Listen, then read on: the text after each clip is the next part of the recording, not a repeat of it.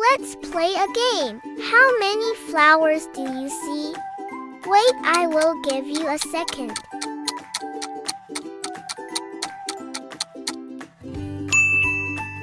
Well, tell me in the comments how many you found.